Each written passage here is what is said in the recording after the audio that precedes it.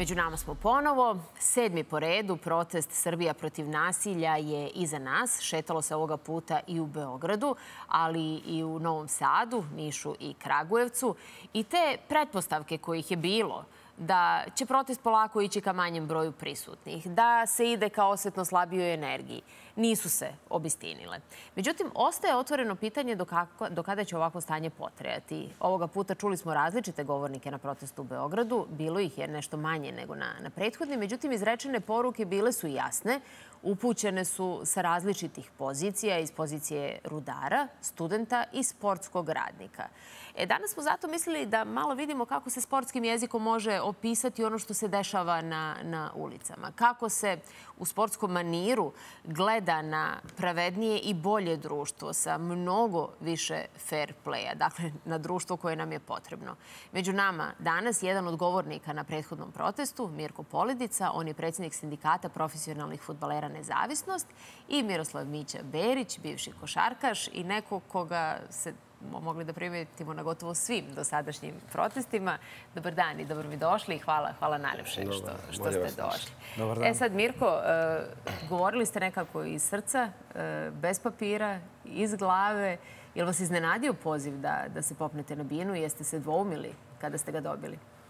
Pa nisam se dvoumio da budem iskren, a što se tiče govora, seo sam dan ranije da napišem neke mhm. teze. I zapravo sam shvatio kada izađete pred tako veliki broj ljudi da to sve pada u vodu. Mm -hmm. Da to može samo biti trenutna inspiracija i ništa više. I baš sam u uvodu u ovo gostovanje razgovarao sa Mićom na tu mhm. temu. Mm -hmm. Toliko sam odigrao utakmica pred velikim brojem ljudi, ali prvi put kada sam izašao pred tako veliki broj Sve prisutnih, da. zaista sam bio u trenutku šokiran. To je nestvarno veliki broj mm -hmm. ljudi i naravno kao odgovoran čovjek e, uvek osjetite odgovornost. Mislim da svi mi sportisti kao deo ovog društva imamo tu vrstu odgovornosti da pričamo u ime naroda i narod u suštini to od nas i očekuje. Tako da sa te strane nije mi to bilo nešto što, što mi predstavlja bilo kakav problem uzimajući u obzir i okolnosti da ću biti targetiran, da vas uvek negde stavljaju u red e, nekoga, da pripadate nekom. Ne, to je bio govor jednog građanina i mislim da ta vrsta političke podele u Srbiji koja postoji već dugo godina i decenija nešto što nama nije potrebno. Mi moramo da budemo svesni da živimo u jednom polarizovanom, podeljenom društvu u kome imamo obavezu da skrećemo pažnju na sve anomalije. Mi danas imamo jedno nasilje koje je izraženo u svim segmentima društva. Nije to samo nasilje koje se dešava u poslednjih meseci ili dva. To je mm. nasilje koje traje više od deset godina i dužni smo o tome da pričamo javno, ne razmišljajući o tome da li ćemo snositi bilo kakve mm-hmm. posledice. E sad opet, Mićo, ovaj, je, je li ima tu e, takvih dilema? Neću reći je li ima straha. Kod nekih ljudi je to jasno pitanje izbora. E, mislim kako mislim i reći ću javno e, da tako mislim ili pojavit ću se na, na nekom mestu pa je samim tim jasno kako, kako razmišljam. Ali kako, kako ti gledaš na mnoge koji kalkulišu i koji neće baš biti potpuno pa ja sam, jasni? Da kažem, vaspitan tako da nikad ne ćutim. Tako su me vaspitali i otac i majka i jednostavno to je nek, moj, moj moralni čin da ustanem protiv svih anomalija, ako što je Mirko rekao, protiv nasilja pre svega. I kako gledam, ja kažem, to treba pitati sada da li, zašto se ne uključuje još veći broj, ajde da kažemo, sportista, javnih ličnosti. Ovo jeste bio uvod u to pitanje, jeste, to, tako, to ti je jasno. Da, da tako da ovaj, mislim da bi to, ovaj, jednostavno kod mene to nikad nije se postavljalo pitanje. Ja, e, svako, ja sam od prvog protesta naravno tu apsolutno uključen i to je najmanje nešto što sam mogao da, da uradim, da, da ovaj, podržim sve ljude koji su tu izašli jednostavno ne iz političkih razloga, jednostavno želeći e, da ovaj svet bude bolji, e, želeći da se bore protiv, protiv nasilja. E, svedoci smo ove nezapamćene, jel tako, trage, dve tragedije, ovaj, ali pored toga izuzetno je povećan broj ubistava žena, tako, nasilja u porodici i svega. Jednostavno, ovo je bio povod, ovaj tragičan, da, da, se, da ljudi izađu u ovolikom broju, i da iskažu jednostavno da ovako više ne može i da, da jednostavno mora da se menja sistem. Tako da ovaj, sa te strane, ja kažem, nikad nisam o, sebi postavio pitanje zašto ja. Ja sam uvek, uvek ne, ne želim da, da ćutim i nadam se da da će i drugi tako da krenu mojim putem. Da, ali opet e, sada, Mirko, stoji to pitanje zašto? Kada običan čovek gleda u, u sportiste, pa sa pravom će misliti oni su nezavisniji od mnogih. Je li tako? Bolje se zarađuje. Pogotovo e, šta, šta može da ugrozi jednog čoveka koji je možda i završio svoju karijeru? Neće ga niko skloniti iz tima, neće mu niko braniti nešto drugo. E, ja znam da, da je ovo nezahvalno pitanje, ali zbog čega je recimo manje tu sportista nego, na primer, glumaca, nego evo, prosvetara, nego intelektualaca koji su u hiljadama sa svojim imenom i prezimenom e, se, se potpisali za podršku protestu? Kao govornika ih trenutno nema puno, ali ih u masi ima puno. Mnoge sam video i mnogi moji prijatelji dolaze na proteste. E, naravno, ima tu i do kućnog vaspitanja, ovo o čemu je Mića govorio. Dakle, e, taj karakter koji stvaramo kroz svoj život prvo počinje u kući i definitivno kao odgovorni ljudi dužni smo da pričamo u ime naroda i da na kraju krajeva vratimo tim ljudima na neki način e, to što su dolazili na stadione da nas bodre. Veliki broj tih ljudi dolazi na sportske priredbe. E, kompleksno je pitanje, puno sam razmišljao na tu temu, imam puno prijatelja koji su vrhunski bivši sportisti. Čini mi se ipak da ta konforna zona negde ljudima više prija ovim trenucima, jer, e, znate, moramo biti realni i reći jednu veliku istinu da mi živimo u jednom društvu koje je koje je osvetničko. Jer pa ljudi jeste, koji su to, na vlasti, to jedino nije ljudi sporno. koji su na vlasti, oni sebe poistovećuju sa državom. Mm -hmm. I oni misle da su oni država i oni misle da su oni iznad nas, oni misle da su oni vlasti, da mi moramo da budemo pokorni. I u takvim okolnostima a, ljudi ipak u velikoj meri, pričamo o sportistima, ipak biraju taj neki mir, naročito oni koji su se ostvarili kao vrhunski sportisti. Naravno, moram da se ogradim, ima ih puno koji dolaze. Koliko su spremni ovom društvu da, da pričaju javno, to je sad, to je sve stvar, individualna stvar. Mm -hmm. Često kada razgovaram sa njima pokušavam da ih motivišem i pokušavam da im objasnim koliko je to važno zbog interesa društva, interesa naše deci. Jer vi kada se borite za e, zemlju bez nasilja, vi se borite i za decu onih koji misle da ste vi njihovi neprijatelji, ali zapravo tu ne treba da bude politike. Ovo je jedno opšte pitanje od društvenog interesa da sprečimo ove stvari. Zaista ta količina nasilja koja je trenutno u našoj državi prisutna je nešto što ne može rečima više da se opiše. Ona je prisutna bukvalno u svakom segmentu naših života. Pogledajte kako izgleda Skupština Srbije koja treba da bude primer i obrazac ponašanja za građane. Dobro, sramota nas je kada gledamo Ja se zaista osjećam postiđeno i najmanje što mogu da uradim to je da izađem, da kažem ono što mislim i da to kažem dostojanstveno, ne želeći na taj način nikoga da uvredim ili da ga dovedem u neku neprijetnu situaciju. I sad rekao je Mirko nešto što, što zaista je jedna velika istina, a to jeste uh, ta osveta. Uh, često mi kada, kada zovemo goste i naravno da, da neću imenovati, čujemo to, pa ne bih da se mešam. Čućemo, čućemo od legendi, od mene zavise neki ljudi, ja nemam pravo njih da, da uh, dovedem u, u problem.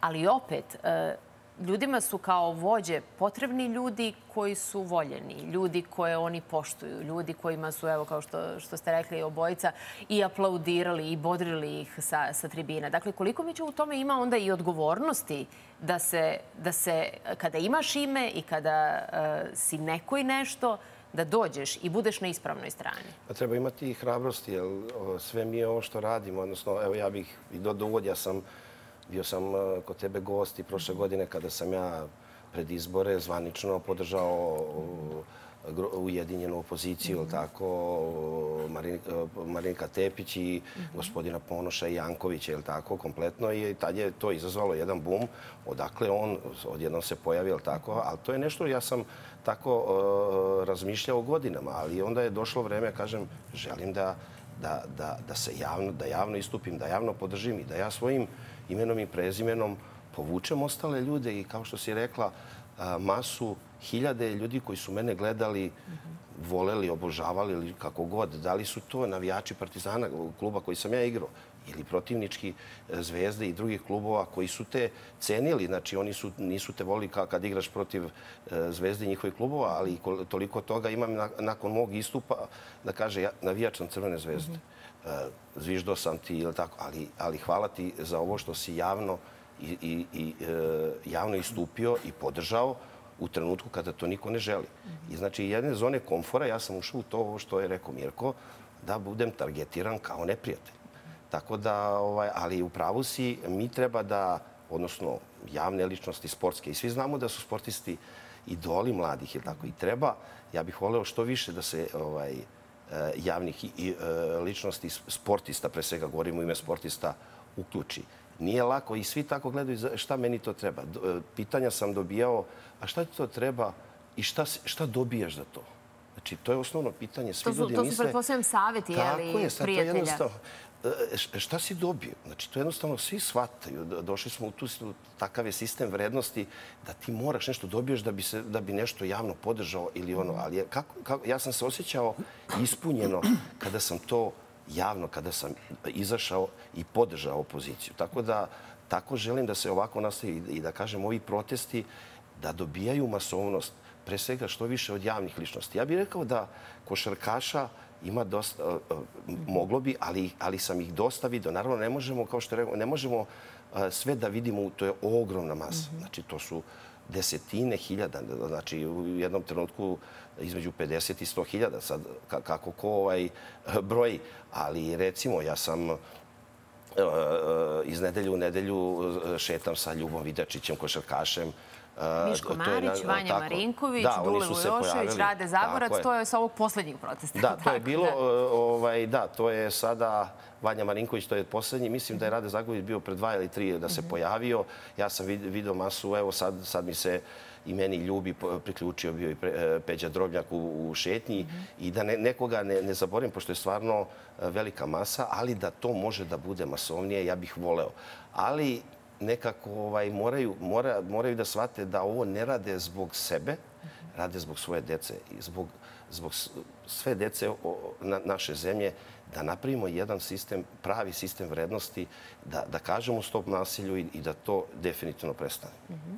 I sada, e, koliko se tu sportski svet e, razlikuje? Vi ste takođe bili kod nas mnogo puta. Mislim da, da poslednji put smo pričali kada je bila kandidatura aktuelna Nemanje Vidića.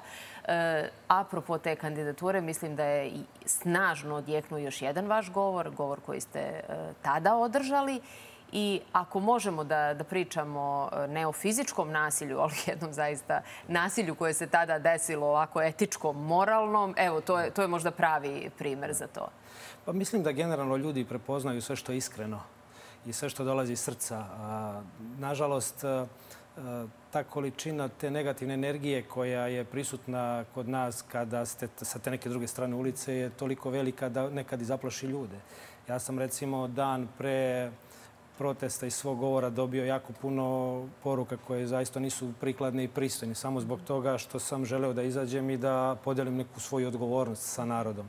Pritom niko nije ni znao na koju temu ću da pričam to što se desilo u Futbolskom savjezu Srbije, to je samo posledica sistema i društva u kome mi živimo. Dakle, ništa mi ne možemo odvojiti od onoga što se dešava na, u društvenom nivou. Dakle, sve se to negde spušta na niže nivoje, a sport je negde uvek bio slika društva u kome mi živimo i kada pričamo o tribini, i kada pričamo o izbornim procesima u sportskim organizacijama. Dakle, ovde danas definitivno bez politike ne može puno da se uradi i mislim da je to možda jedna od stvari koja najviše plaši ove ljude. Upravo ono što sam rekao, ta osvetnička politika u kojoj vi, ako ste protiv nekoga, oni vas doživljavaju kao neprijatelja. Ja nemam problem da kažem da sam protiv nekoga, ali neću to da kažem na način da nekoga vređam. Dakle, želim da živim u društvu u kome ću imati mogućnost da kažem ono što mislim da za to neću snositi nikakve posledice. Ne ja, već i okruženje, moja porodica. Tako da dok ne budemo stvorili takvu vrstu društva i dok se ne budemo izborili za tu vrstu slobode, a to je sloboda svih nas zajedno, ja ne vidim da ovo društvo može da krene napred. I s te strane siguran sam da sportisti imaju veoma važnu ulogu. Ovo što je Mića napomenuo, sportisti su idoli mladima, kultura, glumci, akademska zajednica, to je identitet ovog naroda. To su ti dobri idoli mladima, da. To, to, to, je, to je snaga ovog društva, nažalost, nije u većini, ali svako ko želi da posluša te ljude moći će puno pametnih stvari da čuje i da nauči između ostalog da profil svoje ličnosti stvara i dole stvara u ljudima koji za sebe imaju i karijere i društveni život na vrhunskom nivou. -hmm. I sada slušajući vas razmišljam, e, ako vas dvojica kažete mnogo ljudi se plaši, mnogo ljudi e, ipak ima tu dilemu, mnogo ljudi vas pita pa šta će vam to, jeli, jesi, jesi baš siguran da si napravio napravio dobru, dobru odluku. Da li vam je utisak, da li je tebi Mić utisak da, da se ljudi bude iz apatije, da se bude iz te umrtvljenosti uh, ili i ne baš, ako je stav tako? Apsolutno mislim da. I to baš ovi protesti pokazuju. Znači, sedam, sedam nedelja za redom se održavaju protesti. Nakon prvog velikog masovnog dolazi drugi, sve misle da li će biti toliko ljudi, pa je bila ona kiša velika, ali tako, kada je bilo možda i najveći broj ljudi po kiši. Tako da meni Da je neki proradio. Mislim da, da, se, da, da se ljudi budi iz apatije koja je zavladala. A, ja kažem, žalosno i stvarno tužno što se sve ovo dešava nakon jedno nezapamćene, ove dve nezapamćene tragedije. Ali jednostavno desilo se to što se desilo. Jednostavno ljudi su eksplodirali. I izašlo, izašli su ljudi i sad sve, naravno, vlast to pokušava da, da pretvori u neke političke skupove, ali, ali to nezadovoljstvo ljudi e, iz nedelje u nedelju je sve veće. Mm -hmm. I sve veće je okupljenost. I ovo što, što, što se postavlja pitanje je dokle će ovo traje i koliko će ovo da traje. I da li, da li će da pada, idu, idu tako, leto je e, sezona godišnjih odmora i šta god. Mislim da apsolutno to nije ta, to može, može samo da nas vređa, ovaj, a to oni žele. To oni žele da puštaju te informacije kako će ovi protesti, kako bude e, leto odmicalo, kako naravno ljudi sada idu i na godišnje odmore. Međutim, Uh, upravo to što, što si postavila pitanje. Mislim da, da se ljudi bude iz, iz jedne apatije koja je bila zavladala. Mm -hmm. Je, je li I vaš to je, utisak? To mi je ja, najpozitivnija stvar na ovim protestima. I ono što, što mi je iz, iz, iz nedelje u nedelju vidim sve mlađe ljude. Vidim mlad svet vidim studente, vidim naravno i, i, i glumce sve više, znači apsolutno veliki broj glumaca, više i sportista, ali mladi dece, dolaze roditelji sa decom, malom decom u kolicima. To, to se nikad ranije to, nije dešavalo. I upravo to je ono što mi, što, što mi daje ovaj, neku pozitivu u čitavom mom procesu. Mm -hmm. Šta je vama najjači utisak? Pa složio bih se da je sve više ljudi, a najjači mi utisak to što sam na tim protestima počeo da viđam neke moje prijatelji koji nikada ranije nisu izlazili na ulicu. Mm -hmm. I jedan od najjačih utisaka, ako ne najjači, je to što moja čerka koja je student redovna na ulici sa svojim drugarima, drugarima sa fakulteta i što vidim kod njih želju da preuzmu odgovornost. -hmm. Jer ipak ovaj svet ostaje njima i oni moraju da budu deo našeg društva i da pokušaju da se izbore za, najbolje. Kako ta generacija gleda na sve? Ja se sećam prošli protesti ovi o kojima smo pričali kada su bili. Uh, upravo je najveća akcija bila kako probuditi mlade ljude, jer mladi ljudi u najmanjem broju su izlazili da, da glasaju. Jel imate vi utisak da, da se to menja i da evo ove generacije mladih studenta, onih koji mogu da, da glasaju neki sledeći put, da, da su počeli malo više da razmišljaju o tome i da, i da izađu, a i kako da se opredele? Mi živimo u toliko nepravednom i nepoštenom društvu da je prosto nemoguće ne primetiti sve anomalije koje se dešavaju oko nas. I siguran sam da mladi ljudi, studenti naročito koji treba da predstavljaju budućnost naše zemlje, to vide jako dobro i da oni to već osjećaju na svojoj koži, da je ovo društvo u kome je ponižen svaki čovek koji je dostojanstven. Dakle, ovde u suštini se ne traži ni znanje, ne traži se ni struka, traži se samo neko ko će da klima glavom. I to nije društvo koje mladi žele za sebe. Mi stari imamo tu vrstu odgovornosti da im damo podršku. I moji prijatelji su neretko uplašeni za svoju decu. Ja stalno pokušavam da ih ohrabrim, da treba da ih podrže, da izađu, da izađemo svi zajedno. Ja ću iskoristiti ovu priliku još jednom da pozovem što veći broj ljudi, da nas bude što više. Dok se ne ispune svi zahtevi koji se traže da narod bude na ulici i da ova vlast koja je sebe poistovetila sa državom shvati da oni nisu država, da smo svi mi država i da oni treba da se plaše nas, a ne mi da se plašimo njih. I da im poručimo da ih se uopšte ne plašimo i da ćemo biti na ulici uh, u narednim nedeljama sve dok se ne ispuni poslednji zahtev, a sve u nadi da ćemo stvoriti društvo kome će sva naša deca, nebitno iz uh, kojih političkih struktura porodičnih dolaze, uh, da imaju koristi, da nam deca budu bezbrižna. Da, e, voljela bih samo da, da posvetimo još jedno, jednom događaju koji nije nov, nije ni, ni drugačiji, ružan jeste. E, dakle, juče Partizan Zvezda, onaj jezivi e, početak e, utakmice gde jeli, gađani su igrači Partizana u paljačima, povlačeni u tunel, hoće da izađu, neće da izađu. Po pisanju medija, jedan od direktora u Telekomu izlazi na teren, bukvalno pljuje igrače i sve to. Dakle, neka, neka ružna, ružna atmosfera praktično na, na ivici linča. Ali koliko je mislim, ovo zaista nije ništa novo, ali nažalost nije novo. Nažalost je nama nešto e, o čemu mi pričamo kao o nečemu e, što je, što je uobičajeno. Dakle, koliko je sve povezano, evo malo pre pričamo o Skupštini, mi imamo utisak šta god da upalimo na, na televiziji od programa, vidjet ćemo neku vrstu nasilja na koje smo se, da ponovim, nažalost navikli. Pa ali sport je, sport je ogledalo društva i upravo ovo što gledamo, ove scene koje su se dešavale juče, ovaj, a koje nažalost nisu prve, a niti će budu poslednje. To je bilo i prošle godine smo imali izuzetno ovaj, a, a, loše scene na takođe finalu Jadranske lige između Crvene zvezde i Partizana. Evo sad se ovo ponavlja, ali jednostavno, ovaj, kažem, sport je ogledalo društva i sve ovo što se prenosi i na parket.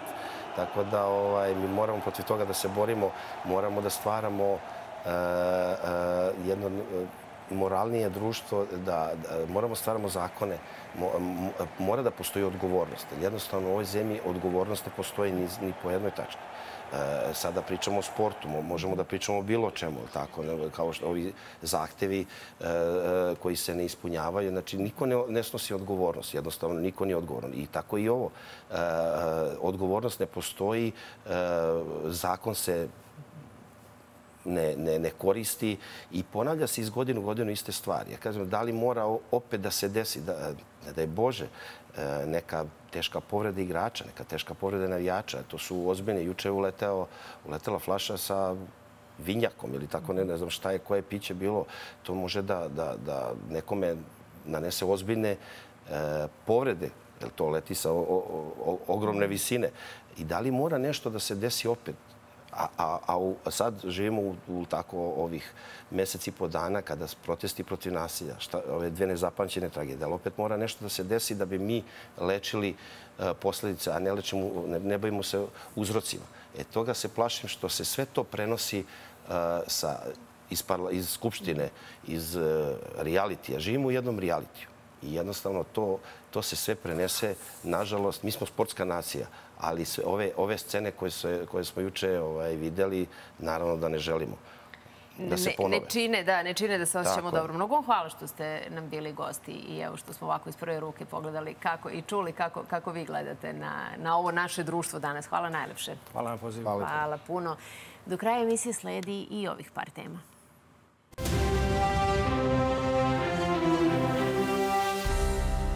Vidjet ćete da li se nad učenicom srednje škole u Sjenici sprovodi mobbing.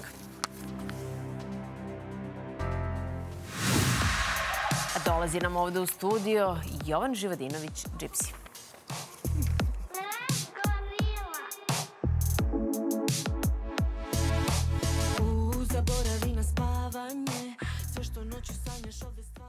Majka jedne učenice iz Tehničko-poljoprivredne škole u Sjenici kaže da je njeno dete žrtva kako ona kaže, političkog mobinga i da joj nije omogućeno da polaže maturski i diplomski ispit. Majka ističe da taj pritisak i verbalni mobing nad njenim detetom traje već dve godine od kada je promenjen direktor u njenoj školi. Ona je dobro dete i dobar đak. Bila je u učeničkom parlamentu, čak bila je njegov predsjednik, ali je pre dve godine počelo njeno sabotiranje, eliminacija sa projekata i nadozvoljavanje da putuje, tvrdi majka gde smo sve to istolerisali misleći da neće se to baš tako odigrati i da će prestati. Zbog toga i sumnjam, jer to nije sad, nego je to od pre dve godine situacija da dete osjeća da nije poželjna, da nisu korektni prema njoj i da se isto ne obhode kao prema drugoj deci. Majka kaže da je kao član saveta roditelja na glasanju kada je biran direktor škole pre dve godine bila uzdržana. Ja sam neko ko nije podržao ni jednog ni drugog kandidata i smatram da ne postoji moja greška ili greška pogotovo mog deteta. To je moje individualno pravo, pravo građanina ove zemlje da ja podržim ili ne podržim nešto što se meni sviđa ili ne sviđa. Ubeđena je da je upravo njeno naglasanje dovelo do toga da dete trpi šikaniranje i vređanje. Na poziv supruga, kad je trebala da ide za Beograd, poslednji put gde je profesor srpskog na poruku odgovorio moju da treba da pitam direktora škole zbog čega Ajna ne može da ide za Beograd. pa je suprug nazvao, ali verujte, to su stvari koje bacamo loptu sa jednog na drugog igrača. Kad je suprug nazvao direktora, on je rekao da on nema nikakvog uticaja tu i da on ništa ne zna. Nakon ovoga, Ajna je dala ostavku učeničkom parlamentu na preporuku roditelja povukla se da, kako kažu, što manje smeta, misleći da će to imati efekta. Da je to dete koje, koje ne, e, nije dobro, koje ne uči dobro, koje, razumete, nije vaspitano, koje, ne znam, ja bih to razumela, da je postajala bila kakva primetba na njeno ponašanje, na njeno uh, ophođenje prema drugoj deci, ja bih rekla ok i shvatila bih da to nije to, ali... Obratili smo se školi u Sjenici i od direktora Andrije Milinkovića dobili pisani odgovor. Savesno i odgovorno tvrdim da učenica nije trpela nasilje u našoj školi, već potpuno suprotno. Napominjem da niko nikada nije prijavio bilo kakav oblik nasilja od strane majke AH, kao ni same učenice razrednom starešini, upravi škole ili meni kao direktoru iste. Suvišno je i govoriti o prisustvu bilo kakve političke pozadine koja u vaspitno obrazovanoj ustanovi ne sme postojati u bilo kom segmentu rada. Sve je kulminiralo poslednja dva meseca sa profesorkom srpskog jezika posle tog nekog verbalnog napada, e, zbog čega ona čita naredbu, e, da je nepismena, da ne ide redovno u školu i da ne zaslužuje. E, moje dete se naravno revoltno i obratilo i reklo da nema pravo na takvo ponašanje, da će da zove roditelje. Pozvala nas je, međutim to je pedagoška služba već sve zataškala kako i znaju. Ajna je nakon ovog posljednjeg događaja bojkotovala nastavu, a roditelji su je u tome podržali. Majka je pozvala profesorku srpskog da vidi u čemu je problem, ali kaže da nikada u životu nije doživala takvo neprijatno ponašanje. To je bilo tako ružno obraćanje sa takvim visokim C. Odakle meni pravo da ja verujem svom detetu? Odakle pravo da uopšte i pričamo i pitam za takve stvari šta dalje da se radi? Da bi je Minela, sestra, nazvala pokušajući da objasni da je Ajna dete koje je i razmaženo i koje mi volimo i koje podržavamo, gde je ona dobila još gore uvrede. Tako da ovaj, stvarno, posle toga mislim da stvarno dete ne treba da ide na časove takvog profesora. Ajna je zbog svega imala i zdravstvene probleme, pogotovo poslednja dva meseca. Psiholog i psihijatar savjetuju nastavak psihoterapije. Porodica je angažovala advokata koji im je rekao da mogu privatno da tuže i školu i profesore. O svemu je obaveštena i školska uprava u Novom pazaru. Snežana Ostojić, Televizija Nova, Sjenica.